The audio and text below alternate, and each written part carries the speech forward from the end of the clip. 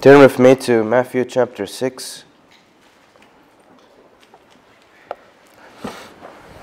Uh, I wasn't obviously to, you know, prepared to share today, um, but um, God knew, God knows, and um, I believe He has a, a word for us. And um, as Brother Sam phoned me last night, and we spoke about, you know, what we possibly might bring, and I went and I, I really spent some time with the Lord, and um, I was praying, and then suddenly um, I met with the Lord, and there was just this uh, word that He constantly was pressing on my heart, and it was prayer. Prayer. And um, one of the big burdens that I've had for quite a number of, of months in our midst is um, we don't pray like we used to. There, there isn't that spirit of prayer that I've, I, I know and I've tasted in our midst as, as a church. And um, God said to me that He wants to change that. You. And it's just this morning, there, it was just amazing that I can immediately see there was, there was a desperation in some of the brothers and sisters' prayer. There was a cry out, there was a call, and and I can just see God is already saying, I'm going to, I'm going to make this church a church that prays again. I'm going to rise the spirit of prayer in our midst. And I am excited about that because that's a work of the Lord that He is going to do. And so last night, that uh, prayer is such a big subject. There's just so many things that we can meditate upon the scriptures. But God wants to take us through the disciples' prayer this morning. And I want to talk to you about a people that prays and a people that God will have in these last days. A praying people. A people who know how to pray. A people that knows that without praying, they cannot continue in their walk. There's no, there will be no growth. They, they cannot go on with Jesus. They will not be able to overcome out there. They need to be a people that seek the face of God, not just as a, in, in here on Sunday, but at home in their secret place. Prayer is something that we, we, we, we need to come back to as a church. I believe this is a prophetic word. I believe God is speaking to us this morning as a church. We need to pray, brothers and sisters. God wants to have a people that pray in these last days. A praying people.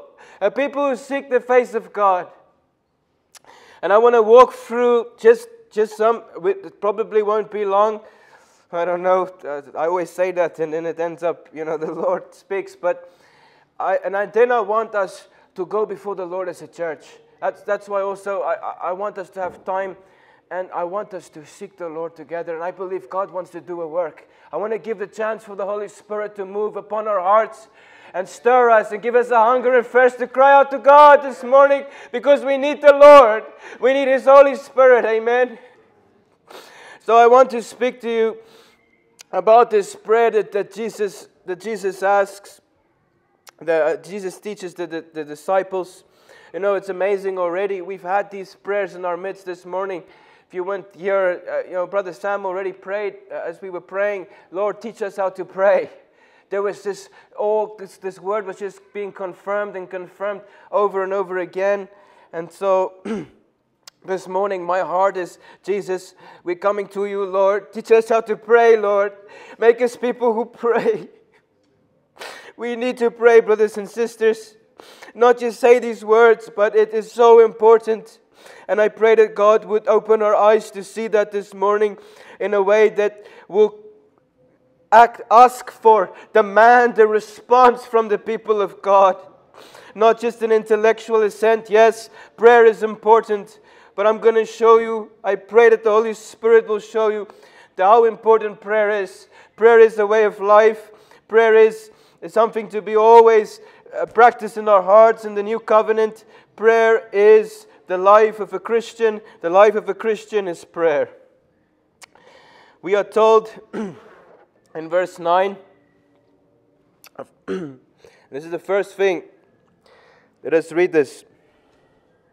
Our Father in heaven, our Father in heaven, or our Father who are in heaven, hallowed be your name. Our Father in heaven. The first thing that I want to press on our hearts and that God was speaking to my heart last night about prayer that we need to understand. The first thing that jesus uh, the disciples are coming they you know they, they want to learn and jesus is going to teach them.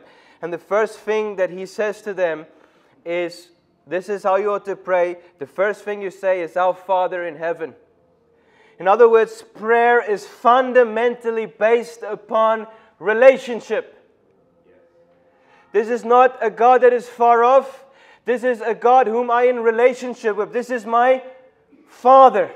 This is my Father. This is a, this is a relationship that, that, that, that prayer is, is, is started and founded on a relationship. And if you're going to grow in God and if we're going to grow as a church, it will mean that we have to grow in prayer. Prayer is relationship. Prayer is, is, is knowing that God is my Father and I have a Father in heaven. So much of, of, of the church needs to, needs to have a fresh revelation of this this morning. That, hey, I, I have a Father in heaven. I am not far off. I am not someone who, who, who worships a God that, that is unknown, but because I willingly received Him, as John said, I've become children of the living God. I have a Father that I can call upon. I come to the Lord not because I know special things, not because I am great, not because I am poor, not because of anything, but because I am in a relationship with God. I know Him, He's my Father in heaven. A relationship. That's the, the foundation of prayer. And if you're desiring a relationship with God, an intimate relationship with God, the people of God will pray. The church will pray. Lord, we want to know you more. Lord, we want to grow in relationship with you. And because we have that desire, and because that, that initiates a prayer desire in the people of God. Lord, you're my Father. I have a Father in heaven. Praise the Lord. Amen. That means, brothers and sisters, you look at how little prayer. Think about it, brothers. Let's be honest. I have seen, I'll, I'll be the one that confessed the first this morning, that I have seen, I've been very busy and I've so easily seen that my prayer time has, has fallen, that, that the desire to seek the Lord has, even for, I, I, I can see that in my life. And if a relationship is important for you, you, you can so easily see, you know, one of the things that lacks the most in the church is prayer. And what does that say? If prayer is founded on a relationship, what does that say? Where is the relationship with the Lord? Where's the relationship with our Heavenly Father? We, we need to be people of praying. If we desire a living, active relationship with the Lord, we would go to Him. We would be a praying people. His house is a house of prayer. Amen. Amen. Praise the Lord. I, I hope we can see that this morning. You know, it, it is something I, I remember. I was in seminary and we, we, we were, the subject was the Gospel of Matthew. And there was a whole lecture on this, on this um, prayer. And, you know, I was stunned what the le- lecturer said. He, you know, he, he, he reads as Jesus goes before this prayer, and, and, and Jesus says, that you know do not pray like the pagans do for they use empty phrases and and, and you know many words. And and then he went on to say that you know you can you can say the, the lord's prayer in about 15 20 seconds so you don't have to pray a lot. Jesus taught us to pray 20 seconds or 30 seconds and you're missing the whole point. This is not what it's about. It's not it's about a relationship with god. It's about a relationship with the Lord. This is the counter. You see, before that, he says that the Gentiles pray empty phrases, empty words, mindless babble. Why? Because they don't have a relationship even with their false deities, even with their false gods. They don't have a living relationship. Therefore, they can babble. Don't believe all this New Age stuff in the church about meditating without you know, just words and stuff and you there's, that's no, there's no relationship in that. And the prayer in the Bible, and men and God, and women and God, and seeking God is because there's a relationship. That is what initiates and ignites prayer. I know my God. I know I have a Father in heaven, and I'm going to go to Him. Do we hear that this morning? Praise the Lord. And here I want to show something. After there is an acknowledgement that I am, I am praying, I, I have this relationship with God. This is, a, this, is, remember, this is the disciples' prayer. This is, a, this is a prayer of a disciple. This is a people who pray. It's hallowed be thy name. You'll see this right throughout the Bible. I'm going to give you examples of this. After there is this acknowledgement of a relationship, a desire for a relationship, the people of God has an acknowledgement, almost a revelation of who God is. Always. I'm going to show this to you. There is always, when they start praying, there is a recognize, they recognize that we are in a, in a special relationship with God, whether it was Israel, whether it was the church, there is a special relationship. That's the acknowledgement of Father, of, of, of my God. My, it's always my God, my King. I, I'm in this relationship. But after that, there is, Lord, you are great. And we'll see that. I want to show you some, some examples of this. Um, I'm going to give us four examples, but there's just so many of them. Let us turn to the book of Acts chapter 4.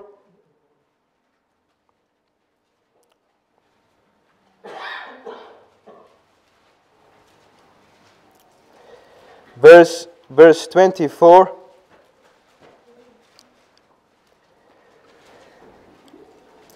And when they heard it, this is now the, the, the early church praying, and when they heard it, they lifted their uh, they lifted their voices together to God and said, Sovereign, listen to this, Sovereign Lord. Listen to how the Sovereign Lord, who made the heavens and the earth and the sea and everything in it. You see that? An acknowledgement of who God is, a, a, a, cry to God and say to the Lord, Lord, you are set apart. You are nothing like us. You are great. David had this similar prayer.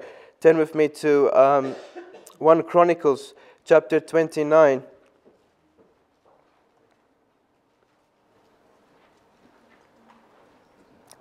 Verse 10 and 11. 1 Chronicles chapter 29, verse 10 and 11. Therefore, David blessed the Lord in the presence of, in, in the presence of all the assembly. David, David said, Blessed are you, O Lord, the God of Israel, our Father. Look at that. Blessed are you, O Lord, the God of Israel, our Father, forever and ever. Notice he acknowledges this relationship. And now look, look at this. Look at how, how he, he speaks about the Lord. Yours, O Lord, is the greatness and the power and the glory and the victory. Hallelujah. And the majesty and all the things in the heavens and in the earth is yours. Yours is the kingdom, O Lord, and you are exalted as the head above all. Do you see that, brothers and sisters? There is, when there's a prayer, there is an acknowledgement of my relationship with God, and then there is this, this cry out of who God is. There's this worship of God. There is this acknowledgement, oh God, you are great. And I tell you, a key characteristic in, of a praying people is a people who has this fresh awareness and knowing of the greatness of God. It's alive in their hearts, it's burning in their hearts. They know that God is great, they know that God is glorious, and it is living in, the, in, in their lives. A people who pray has this reality alive in their hearts. How did Jesus pray? Turn with me to Matthew 11.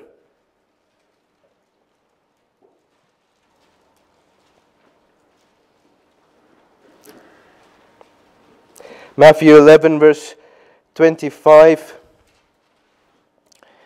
And at that time, Jesus declared, I thank you, Father, Lord of heaven and earth, that you have hidden these things from the wise and understanding and have revealed them unto little children. My Father, and I acknowledge that you are the Lord of the heaven and earth. Hallelujah. Do you see this this morning? One more example of Jesus. Mark 14. Jesus is in the Garden of Gethsemane. Verse 36. And he said, and he said, that is Jesus, Abba, Father. Listen to this, listen to this small phrase. Abba, Father, all things are possible for you. Do you see that? All things are possible for you. Remove this cup from me, yet not my will, but your will be done. There is this relationship, and then there's this acknowledgement of who God is. Brothers and sisters, if we are not a praying people,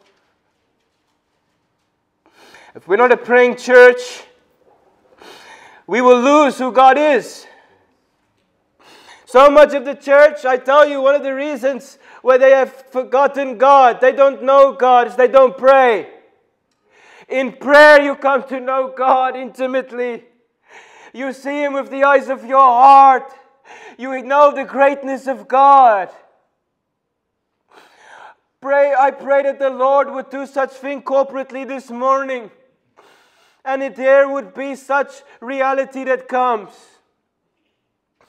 Acts chapter 2, verse 42. They continually devoted themselves to those four things the apostles' teaching, to fellowship, to the breaking of bread, and to prayer. And it says in verse 43 directly afterwards, and awe, reverence, fear fell upon every soul. And great wonders were done through the apostles. Why? because there was a reality in their midst. They had a revelation of who God is more than what any church I think has ever done before. God was real. We spoke last night, you know, Brother Sam, you know, he said, you know, we were in 1 Corinthians chapter 6, and he said, we need to really understand. We just need to meditate you know, we are the temple of the Holy Spirit. We're the temple of God. God lives inside of you. Do you hear that this morning?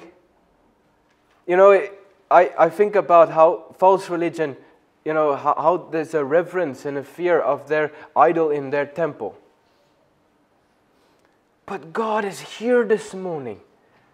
There's a, we need to hear that this morning. He's living inside of you. Oh, that God will open our eyes this morning. And that all that fell upon every soul, that reality that, whoa, the creator of the heavens and earth is in our midst. He is in our midst. I tell you, that reality comes when there's a dedication to prayer, when there's a dedication in seeking the face of God, wanting to know Him more, not just here, but at home. That is when reality comes, when we stop praying, the light starts to dim. We need to pray. This is only two verses already. But can you hear the Lord this morning? God, stir a new work of prayer in our midst. Jesus proceeds then, and he, Our Father who is in heaven, hallowed be your name. Your kingdom come your will be done as it is in heaven, so be it on earth.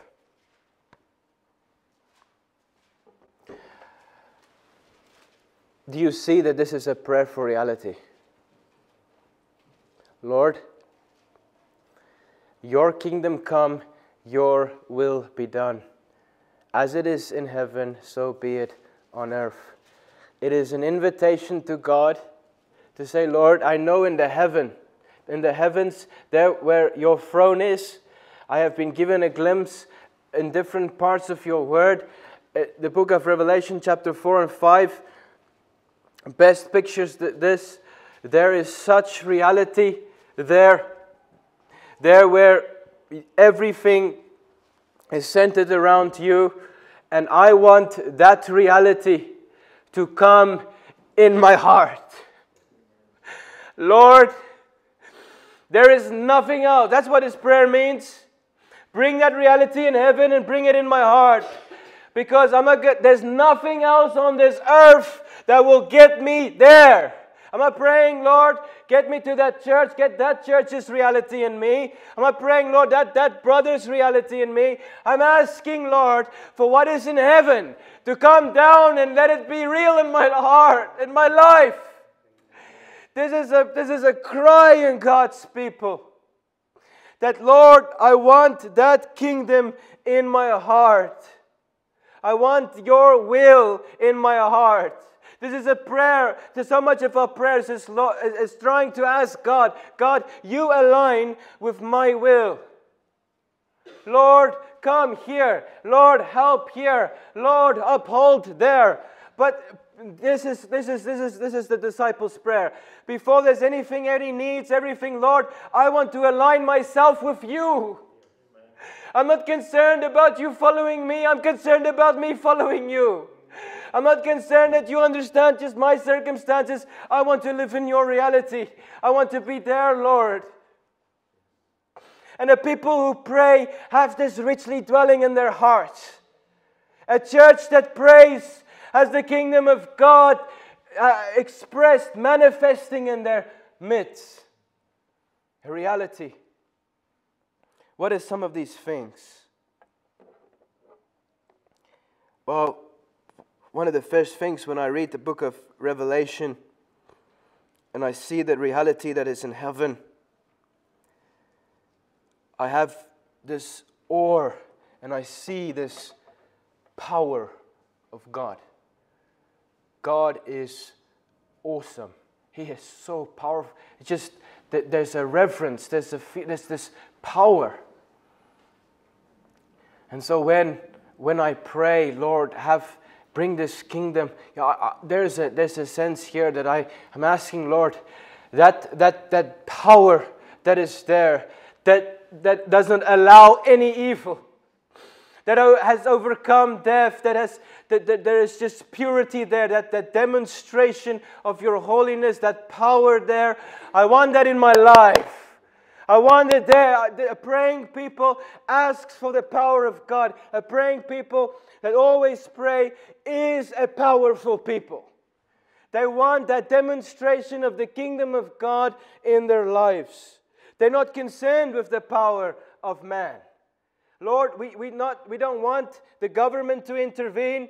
We don't, we're not looking for, you know, that person's uh, wealth. We're not looking towards money. We're not looking towards our organizational skills. Lord, we need your kingdom to come. We need your power to manifest in our midst. Please, Lord, bring that kingdom. Bring your will, Lord. Bring that power. That power where Jesus commands sickness to go away. That power, Lord, that every time evil is trying to confront Jesus, it gets obliterated. Every time sickness tries to confront Jesus, it gets obliterated. That power. Bring it, Lord. Bring it in our midst. We're not interested in power of man. We don't want power of man. We want the power of God. And the people who pray, they, are, they have the power of God. That's a people who that, that's a characteristic of someone who prays a lot. He has this power. Jesus works through him. I shared yesterday with my father in law and, and, and brother Leo. You know, one of the big ways that the early church evangelized or um, what was sort of the apologetics of the early church? What was their defense for the faith? What was their argument to believe in Jesus? What, what, what did they say? Uh, they, they used numerous things, but one thing that you'll find everyone uses and is sort of their center, center argument to, to the world is they say to the pagans, look at the church. Look at the power of God in our midst. Look at the people in the church. Look at how he heals sicknesses. Look how he heals diseases. Look how he has changed these wicked men into upright men who fear God and who obey the law. They point to the power in the church, and nobody could refute that. Nobody. And they constantly almost mock the pagans and their idols and they say, Jesus is crushing your idols every single day. Come to Jesus and bow and worship Him. More and more, your idols will fall at the feet of Jesus. You call Him a dead man? Hmm. He's alive. And your idols are running away from the supposedly dead man. Your demons are crying out out of fear as of the supposedly dead man. No, the early church says, I assure you, he's alive. And you want to know where to look? Look in my life, look in the church's life. Where is that? You know, I want Brother Ben and Brother Tyler and all of us be able to say that. To Say, you know, if you come and you see Jesus is alive. There was a, there was a reality. The church didn't know of, you know, to fight science with science and, you know, to fight philosophy with philosophy. They, they did that. But when they really wanted to press the point home, look at the church. Jesus is alive. Deal with it.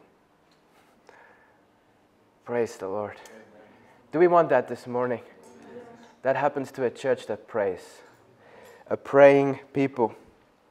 Lord, I want that power to be in our midst. Holiness, I mentioned holiness again. There is this cry in the constantly and the people of God who pray, who wants His kingdom to come, who wants His will to done. Again, they recognize, Lord, there's no righteousness on earth that I want. There's no righteousness on earth. I want the righteousness in heaven. I want that kingdom righteousness. Remember, Jesus said, Seek the kingdom of God and its righteousness first. Seek, seek that first. Seek that. I want the righteousness in heaven. I want to be clothed with your righteousness. You see, a people who pray cannot be self righteous because they are constantly in the presence of God and they are aware and, they, they have a desire to have the righteousness from heaven. They want God's holiness. They don't want some fake hypocrisy, some facade, something they dress every Sunday with. They want the righteousness in heaven. They want the light of God to dwell in their hearts. Praise the Lord. What else? Unity. Jesus himself said, A kingdom of God cannot be divided. I tell you, the most united kingdom ever, a kingdom that cannot be divided for sure, is His. Is that kingdom that is on its way and it manifests in our hearts and in this church.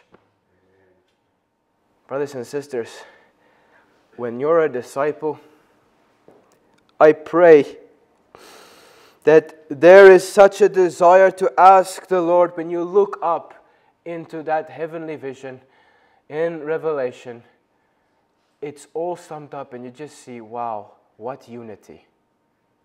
It says that I heard a voice of a multitude of angels. One voice, multitude of angels. Your brother Sam spoke about the glory that God shares with us in unity. There is a prayer in the disciples' heart. There's a, there's a prayer eh, that the, the praying people have that that kingdom unity would manifest. And I tell you, a church that prays is also a church that's united. God would do a work of bringing us together. Look at in Acts. What happened? There was praying, there was fasting, and they were seeking God together, and then the Holy Spirit came. There was a unity. In the prayer brings people together. Prayer, God can unite people in prayer. God can do a work of unity in prayer. And my cry is today that look, we need we need to cry out, Lord, that unity in heaven. I want that in my marriage. Lord, I need that in my marriage. Lord, I need to be united with my wife. I need to be united with my husband. Lord, I need that unity. That unity I see there. I don't want any earth unity. No, no uh, counseling. No, there's nothing's going to achieve that. I need that reality of unity in my heart. Bring your kingdom, Lord. Bring your will. Let my marriage be, Lord, it, that, that it be so united that nothing can separate it. Lord, I, Lord, uh, that my family, Lord, I need unity in my family, Father God. Lord, that unity I see again, bring it in my family. Fathers, I pray. Lord, I pray you speak to the fathers here this morning. We need to stand up. We need to take our wives and pray with them. Amen. We need to take them and say, Lord, I'm going to, Lord, we, we, we were going to go together as a, married, as a married couple before you, as a couple you've joined. And Lord, we're going to pray, Lord, bring that unity. Bring us closer together. Make us, Lord, re- realize this oneness that you have done. Lord, fathers, listen. My family, I'm going to take them. I'm going to, Lord, uh, we need unity in my family, Lord. Satan is constantly active trying to take my children, trying to, Lord, teach my children all kinds of rubbish and foolishness from the world. We need the unity of the Holy Spirit. Lord, fathers, you need to rely on the Lord. You need to be prayerful men. I have neglected this in the last couple of weeks, and I pray this first to, you know, preach this first to myself, but we need it. Fathers, today, the Lord is calling you. Be the priest of your house. Take your wife and pray. Take your family and pray. Ask for the Lord. Lord, bring that unity. Lord, we need to be united. Gather us as hand. You gather that hand under uh, the, the chicks under your, your wing, Lord, please. Gather us. And fathers, let us take leading. This is what the Lord asks for us, of us. It tells us in Romans 14, verse 17, that the kingdom of God is not a matter of eating and drinking, but of righteousness, peace, and joy in the Holy Spirit. Joy. A praying people. Lord, the kingdom, the, the, the reality there, I want a burning joy in my heart. I tell you what, a people and a church that labors in prayer will have an enormous amount of joy in their hearts. Because when you know, when you have that reality of who God is and you have a fresh encounter with Jesus, you just are aware of all that He has done for you. You know, you, you're secure in Christ. You know, you just know that what the Lord has done for you, and there is just a leaping of joy in your heart. There's always a singing, there's, but if there's a grumbling, if there's taking our eyes off Christ, and there's dropping our heads, there needs to be a joy in the house of the Lord. Part of why prayer is not in the church, uh, you know, what's replacing prayer is entertainment, because entertainment has, you know, a false a false substitute for, for joy, to make people feel good, to clap their hands. But if people can come into the house of God, having sat at his feet, having seen how great he is, having seen how awesome he is, and then come and starts crying and praising God. We don't need any entertainment. You'll see the joy of the Lord moving through this place, melting people's hearts. The joy of the Lord. Why is there so much fear in the people of God and not peace? Because people don't pray. You can't scare a man and a woman that prays always. You can't scare them. I pray that the Lord this morning will do such a work in us that that boldness would come. You see the early church? They prayed for this. Said, Lord, give us boldness. We don't ask, Lord, to run away now, but we are asking, Father God, for boldness, Lord. We want that this peace that surpasses all understanding come what may. I am on the rock. I know my God. I know His promises. I know He, he will do what He said. I have peace. This is what Jesus, you know, in, in John chapter 20, from verse 19 on, the, the, the, disciples are on the upper room and they, it says they're afraid of the Jews. And it then says Jesus appears in their midst and his first word says, Peace be with you. Peace be with you. No anxiety in the house of God. If you're struggling with anxiety, pray. Pray to the Lord. I really hunger for this reality of the kingdom of God manifesting in our midst. There's so much more that, that we can say, but I want that. Do you want that? I want God to start that in us.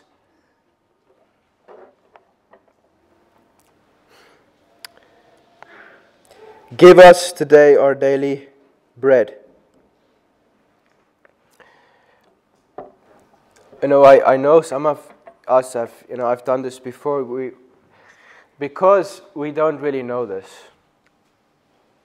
in the sense that we don't really rely on God for our daily bread. You know, we, we feel like it's, it's we just have so much. So we, we've taken this verse often and we talk about, you know, the, the, the manna, you know, the word of God, because at least that's something we can feel like more that we can depend on. Um, and that's good. But this morning, I want you to have a fresh revelation that God is your provider. And that people who pray are intimately aware that God is my provider and that every good gift comes from Him. But notice, Lord, give me my daily bread after asking for this kingdom, after asking for this will to manifest, he asks, Lord, the Lord Jesus teaches us to ask for our daily bread. Uh, do you see that he's not saying more than what we need? Ask for what you need. So much of the carnal things we pray, is it things that we want or is it things that we need? Jesus himself even said, I, I, I believe that the Lord is weary by the people of God's prayers when it comes to, Lord, I want a new house, I want a new car, I want this, I want that, but above the things we need. God already said in the previous chapter seek the kingdom of God first. For your heavenly Father already knows what you need in terms of clothes, in terms of food. That way that Jesus teaches the people of God in our prayer time is not to overload God with all of our carnal needs that so much of the church is doing, but ask the Lord for our simple needs. The need that I need for every day to serve you, to praise you. I don't need anything more because I'm passing through this kingdom. I want your kingdom. The things of this kingdom is just to sustain me because I'm just here and I'm passing through. I am a pilgrim. How much of the prayer of the church today is about things of this kingdom? Look at the two kingdoms. They are trans, they are, they are compared with you this, for you this morning. Pray for the fullness of the kingdom of God. When it comes to the earthly kingdom, pray what you need.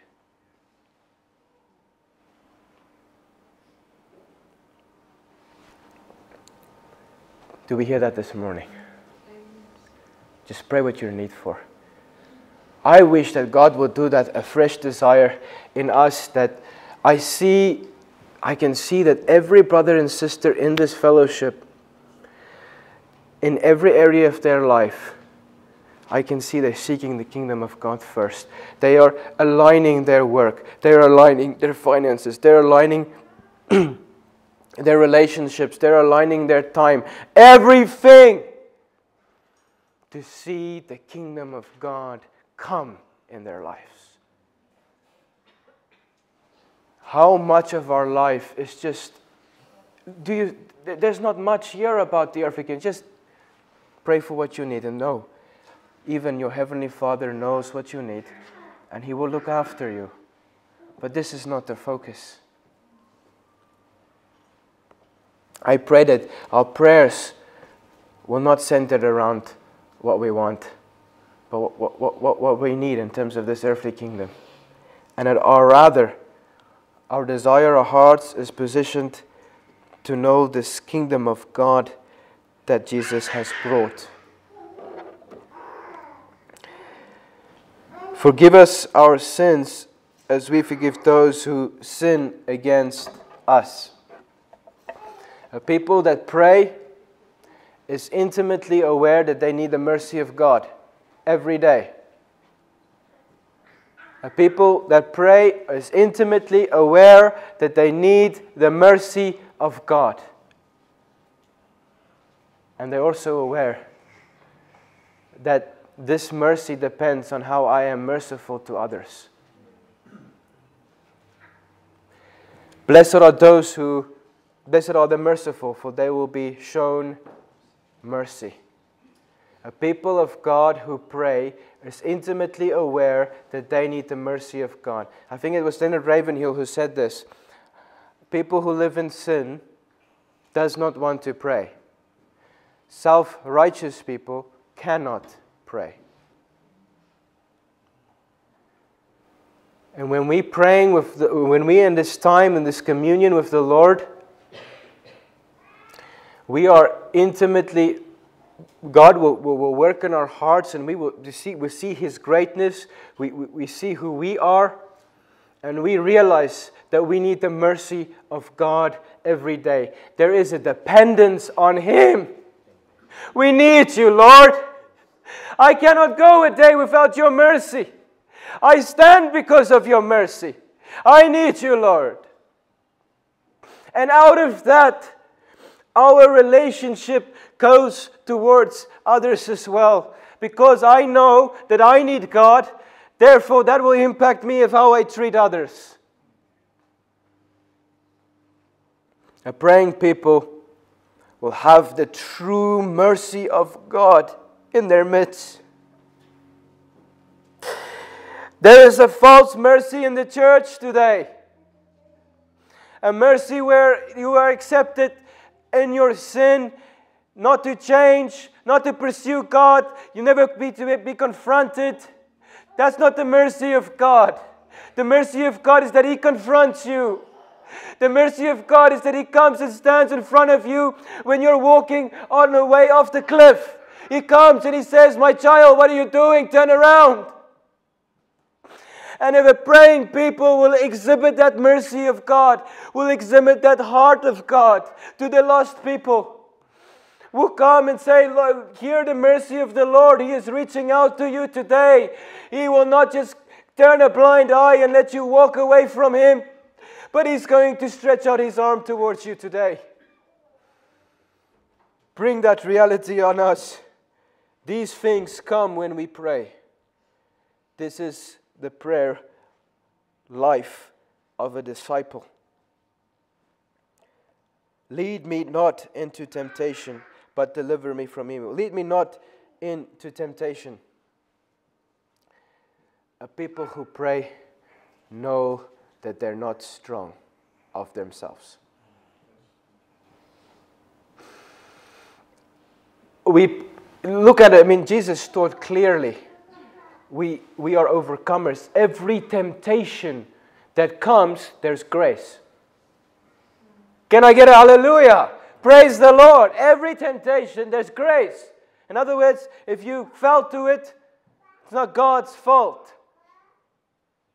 However, in a praying people, there is this acknowledgement, Lord. I, I, I, I'm weak. I am not strong. Please keep me, protect me. One of the things that Jesus had to absolutely, he had to work with his disciples for three years to break this in them was their confidence in themselves. Peter had to, had to learn this. The disciples had to learn this. Lord, I, I, I can, I will never deny you. Oh, well, Lord, I will also never deny you. Constantly, God needed to show the disciples that, listen to me, you are weak. You can't do anything without me. You need to trust me. You need to rely upon me. You need to be dependent solely upon me. And one of the first things, and I don't care what, what you know, you can say, well, that's not my intention. If you don't pray, you are saying, I'm strong. Because if you're really aware of your need, you will go and say, Lord, I need you. I need you today. I need you again. Please, Lord, keep me with you. Hold me close. Don't let me stray. Don't, Lord, even just no temptation. Lord, I, I, I need you. A people that pray is always humble and have no confidence in themselves. And that is why God can use a people of praise so much. So much. And when there is an acknowledgement of this, but deliver me from evil, a people who pray know that there is no other deliverance, there is no other help, there is no other salvation, there is no one else to go to but to God. I'm not going to run first to here or there. A people who has a prayer life, I tell you what, they know that God is a Savior. A church that prays knows that God is a Savior and a Deliverer, that He is mighty to save. And when they do, they can proclaim Him. They know He's a Savior. If we don't pray, we don't have these things. This is the disciples' prayer life. This is to be perpetually burning in your heart. There has to be this desire in our midst. And I believe God wants to start that today. revive the work of prayer in our midst.